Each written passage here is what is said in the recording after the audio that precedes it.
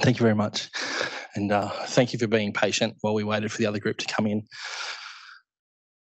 We heard from so many of our speakers yesterday about timely completions and stuff. And so I also have completed my PhD in the spring of, I think, 2026 or something. So um, nearly there, nearly there. A glorious start to the day. Sunshine, sand, smiles, students learning to surf. Arms waving and looks of triumph, asking without words, Sir, did you see me? I wave back. I saw you, you were great. To the figure standing out in the waves. Glorious start to the day. Back to the mundane, the classroom.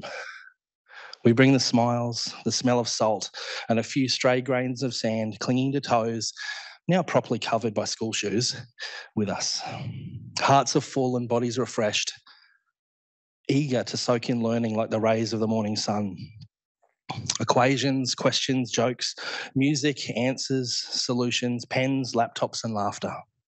An excellent lesson while we prepare for exams. Confidence rises. Glorious middle to the day. An out of place look between classes. Hey, before you go in, how are you? Oh, I'm okay. The eyes speak the truth while the lips lie. No, really, what's up? Are you worried about your exam? Because you've been preparing really, really well. The story starts in a very familiar place stress, anxiety, big emotions, responsibility, study. The story is brief and it's ever so innocent. It's really casual. It's always been hard to be a teenager, but I think it's getting harder than it was. Ah, there it is.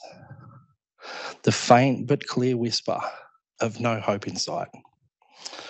The smoke and mists of musings finding solid form in a plan, calm, procedure, smiles, reassurance, escort to the nurse's office, psychologist, risk assessment, emergency department, safe, and the best place to receive care. Where are my whiteboard markers again?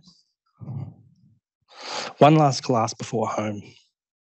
Equations, questions, jokes, music, answers, solutions, pens, laptops, and laughter. An empty chair that's somehow louder than all the rest. A not so glorious end of the day. Home for dinner, marking, planning, scotch and sleep. I wonder if tomorrow I'll have a glorious start to the day. Sorry for getting choked up there.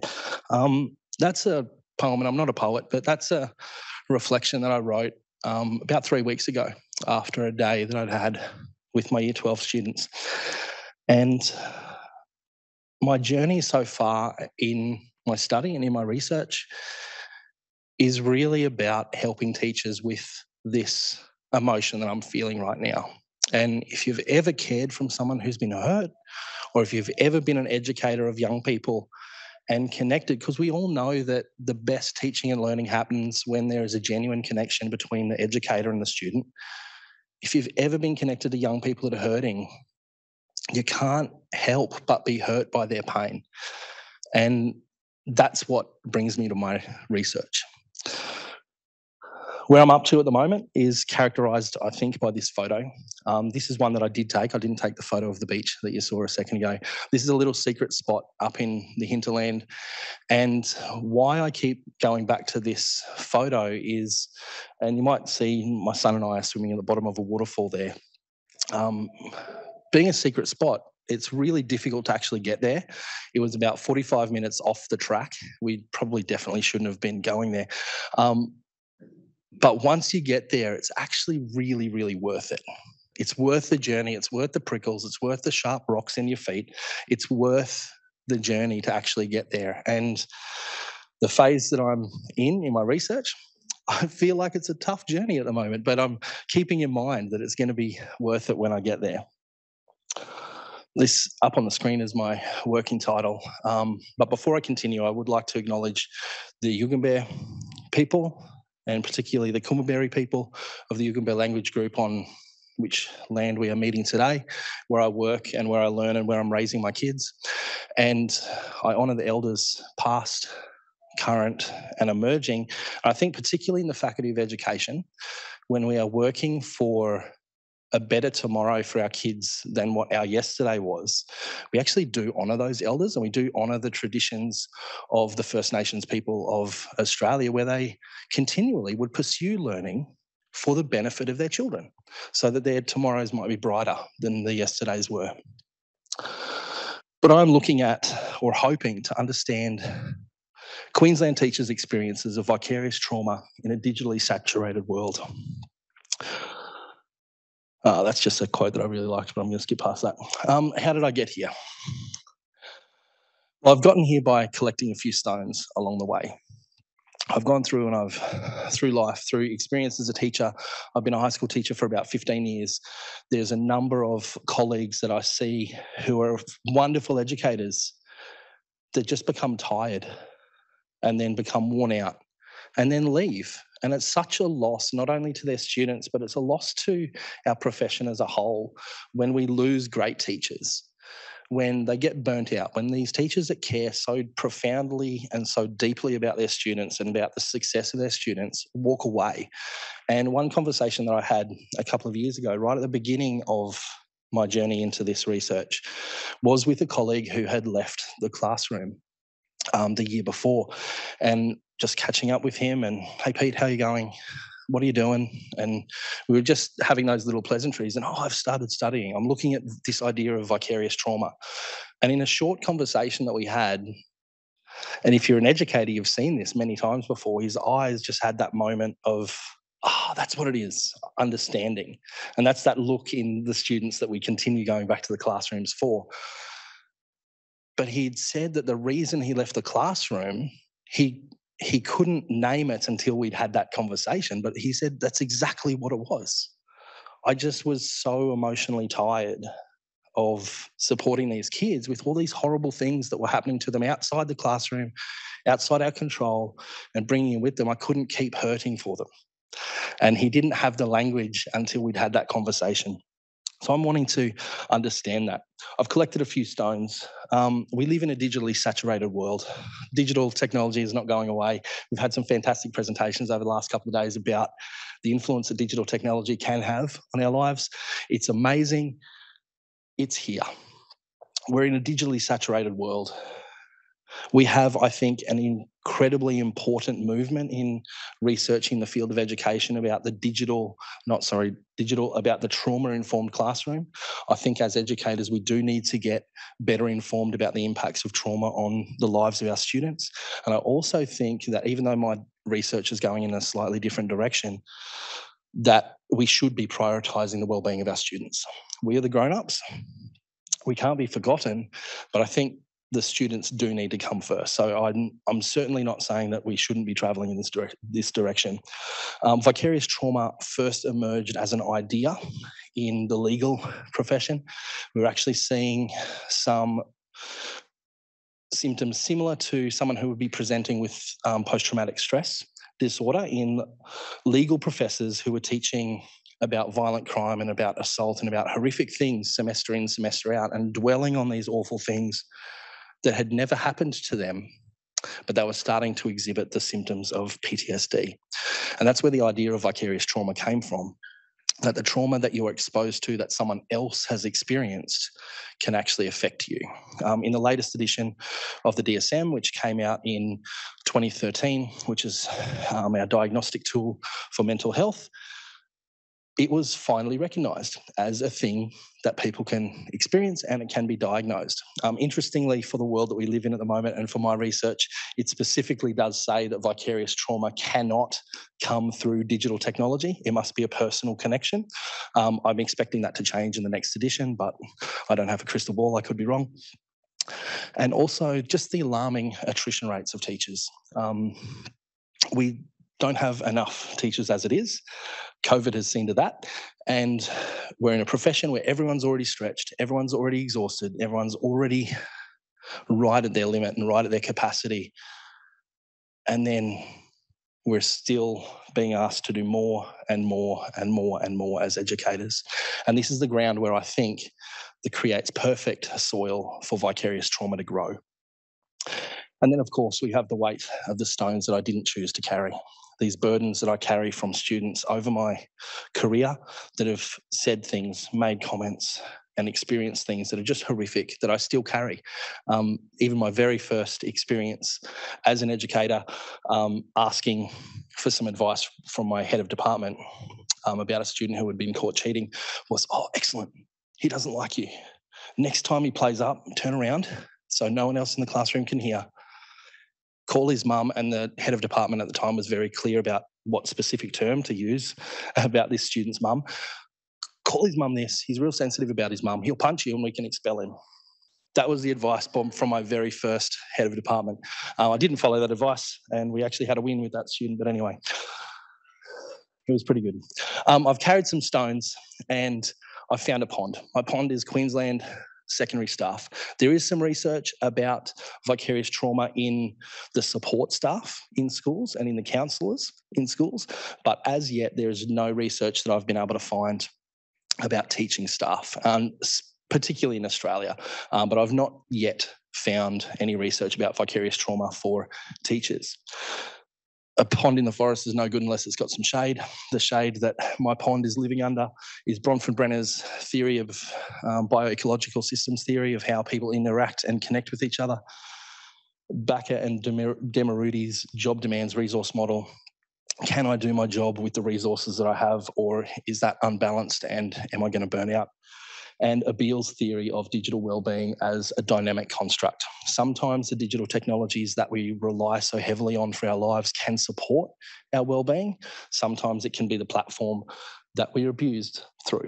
So the idea of well-being in a digital space is actually quite dynamic and difficult to pin down and it's not like the idea once was where if you spend four hours a day, then you'll have this really bad effect. It's not just the time that we spend with digital technology, it's more complex than that. What I'm going to do with those stones, I'm actually going to chuck them on the pond and I'm going to skip those stones and see what the ripples do, see how they dance and see how the light changes and see how they interact with each other. The way I'm going to do that is I'm going to look at those things pragmatically. I think um, it's really important to ask the right question when we're doing research and let our methods be directed by that question. If we're researching and trying to find something and using an incorrect method, we'll find the wrong answer. Um, I'm going to use a mixed methods approach, particularly an explanatory sequential mixed methods design to ask a couple of questions, which I think are going to come up on my next slide. Yes, I am organised. Yay. So my research questions for this is to begin with, I'm going to do a questionnaire using the validated um, vicarious trauma scale, which has been used in a number of different places. The vicarious trauma scale is a relatively short questionnaire. So I'm going to add to that some demographic information as well. Um, but with approximately 32,000 uh, secondary teachers in Queensland, I'm going to need to hopefully get about 380 responses to have a st- significant um, study for that. I'm hoping to keep my questionnaire small so I actually do get people to respond to it. it would be really great. That is going to be used to answer the question to what extent do teachers experience vicarious trauma? I will also use the demographic information from that questionnaire to ascertain are there some particular groups of teachers that are greater or lesser risk. I am very careful using the word risk. Um, conversation with Emma about that word risk. As soon as we use the word risk, it actually also has legal ramifications as well. And because if there's risk involved, then there's liability, and then we can sue our employers. So I'm, I am going to be very careful about how I use that word. Thank you. Then phase two, which will be a qualitative study, I'm going to narrow right down and look at hopefully 10 participants for some semi structured interviews where I will find out, hopefully, what do teachers say about their experiences of vicarious trauma? I'm going to dive into, hopefully, through a narrative inquiry inspired approach to these interviews. And also, in response to these experiences, what are teachers' perspectives on the implications to the profession?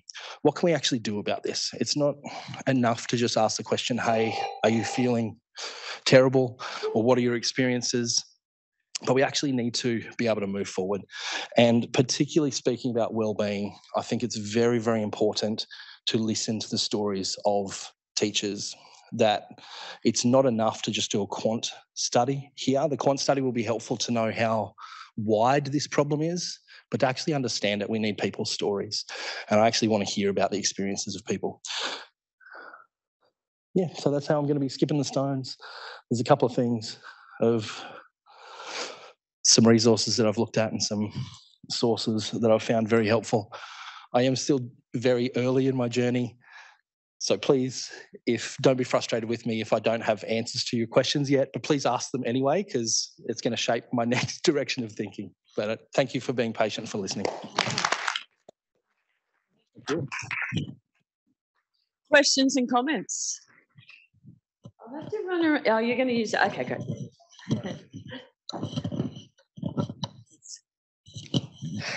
Hey, um, thank you. That was just awesome. And Jesus, you are a poet. That was incredible. that was like, wow. Thank you. That was, that was patient. Thank you.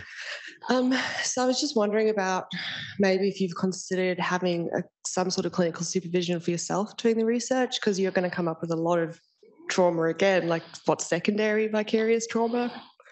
Yes, no, mm-hmm. definitely. Um, it's something that I've definitely spoken with my supervisors about as well.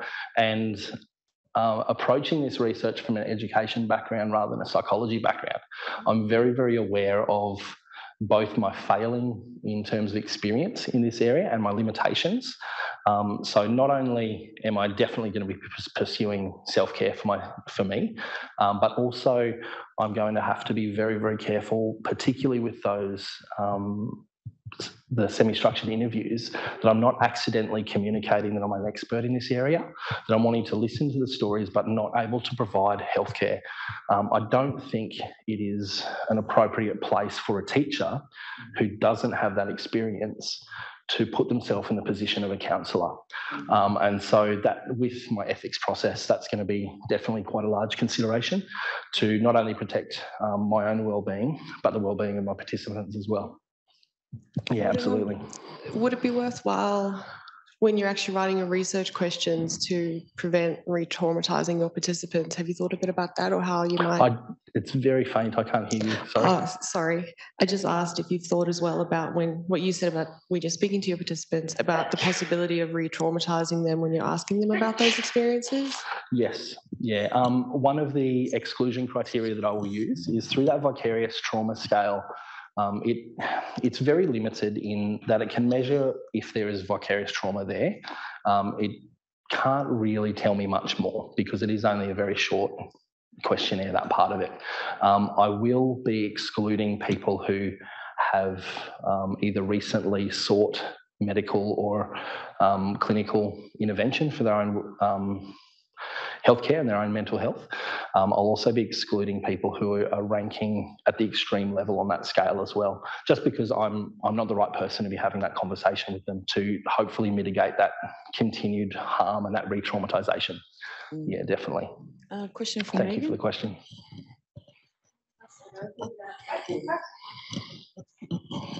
I just want to say, um, you are you are a wordsmith.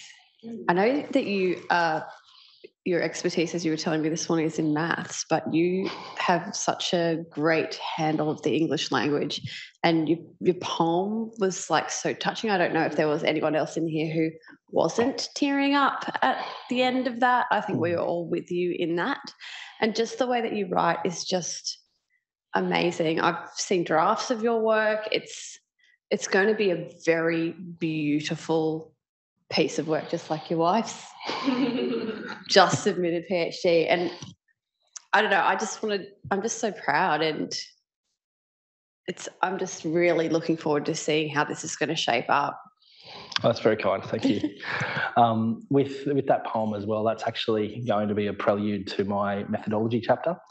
Um, I am going to include something similar Um, I haven't written them yet, but I'm going to include something similar to the prelu- as a prelude to each of my chapters through my thesis. And um, I think that's also what has drawn me to the idea of a narrative inquiry. So my particular methodology isn't a pure narrative inquiry. I can't do that as a mixed methods, and because I'm using other in, other influences. But I'm really, really driven by people's stories. And I think that once I'm done, and I know it's a massive mountain to get there, um, but once I'm done, I want to be able to have my research to help teachers. That's I'm I'm not doing this for any other reason than to help the teachers who are exhausted out there because of this emotional fatigue. And the professional development that I've been a part of and been able to engage with as a teacher, it's always more powerful when it's a story that's told rather than here's the thing, do the activity, do the whatever, because you can carry a story with you, but you can't carry the, oh, I did that little activity and heard those three stats and stuff. Um, and maybe I think a little bit differently to someone, and not everyone thinks the same as me, but but stories are able to, to be carried. And I think being able to produce something that tells a story of is powerful. I think that's important. But Um, thank you. I, I, I don't, I hope you can hear me through this thing. Um, going back to kind of the methodology and data collection, and you saying, you know, you're not the expert, you're not coming from from the psychological point of view or a counsellor or anything like that. And I think you had up on there that you're hoping to interview 10 people. Have you considered actually having um, collecting that qualitative data in a written form? So actually providing a proforma, a structure, some set Mm. questions. It might widen. I don't know if you need. You don't necessarily need more, but those people that you were saying, I'm going to exclude this person. I'm going to exclude this person. Giving them the space and not actually having to speak face to face with someone about the Mm. trauma, but reflect on it and write about it. You you may still get really rich data. It depends what you're after, but I was just wondering if it was something you considered. Um, not yet, but yeah, I'll definitely take that under advisement, and I think that's really, really important. I, I am planning as part of my questionnaire to have um, an open-ended bit at the end to tell me about your experience. Um, so that will obviously be quite a large sample set. Hopefully, if I get the 300 and something um, responses, to be a way of developing those questions that I do ask in the semi-structured interviews. Um, but yeah, I think allowing respondents to respond to me in a way that they're comfortable with is really important, particularly when you're asking about something about trauma and about how they are doing in, in and of themselves. Um, that's really powerful, and I'll definitely be, yeah, definitely be wanting to influence something like that. So thank you for mentioning it. Okay, I think we'll wrap up there. Thank you very much, Kai. Yeah, thank you. Thanks, Wilson.